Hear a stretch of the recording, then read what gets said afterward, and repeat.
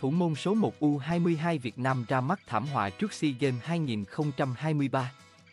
Quang Văn Chuẩn, thủ thành số 1 của U22 Việt Nam ở SEA Games 32, vừa có màn ra mắt không được như mong đợi khi mắc sai lầm dẫn đến thất bại 1-3 của Hà Nội Fan Club trước Bình Định ở vòng 7V League.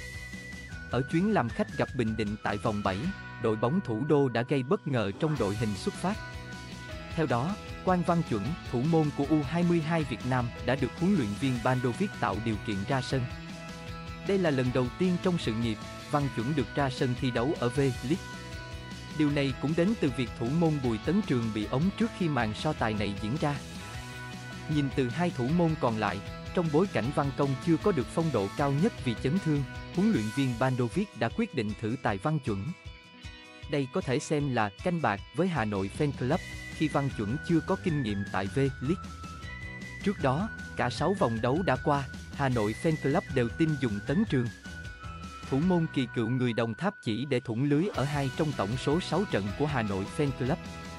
Thực tế, trong lần đầu tiên bắt chính ở V-League, Quang Văn Chuẩn đã có trận đấu thảm họa. Thủ thành số 1 của U22 Việt Nam đã phải vào lưới nhặt bóng đến 3 lần sau những pha dứt điểm của Rafael. Trong đó, Văn Chuẩn mắc sai lầm trực tiếp khiến Hà Nội Fan Club chịu quả penalty tranh cãi ở phút 60. Khi tỷ số đang là 1-1, trong tình huống lao ra cắt bóng từ đường chuyền bên cánh phải, thủ môn Văn Chuẩn bất cả phạm lỗi với Rafael của Bình Định. Ban đầu, trọng tài chính Nguyễn Mạnh Hải chỉ cho chủ nhà hưởng quả đá phạt ở sát vòng cấm địa. Sau khi nhận được sự tham vấn từ trợ lý Nguyễn Lê Nguyên Thành, trọng tài Nguyễn Mạnh Hải thay đổi quyết định, chỉ tay vào chấm 11m. Rafael không bỏ lỡ cơ hội nâng tỷ số lên 2-1. Đây chính là bước ngoặt của trận đấu dẫn đến trận thua 1-3 của Hà Nội. Quang Văn Chuẩn được đánh giá rất cao về chuyên môn. Thủ thành sinh năm 2001 được xem là sự lựa chọn số 1 trong khung gỗ của U22 Việt Nam tại SEA Games 2023 sắp tới. Tuy nhiên, kinh nghiệm thực chiến ở đấu trường đỉnh cao còn non nót đã khiến cho Văn Chuẩn có màn chào sân không như mong đợi.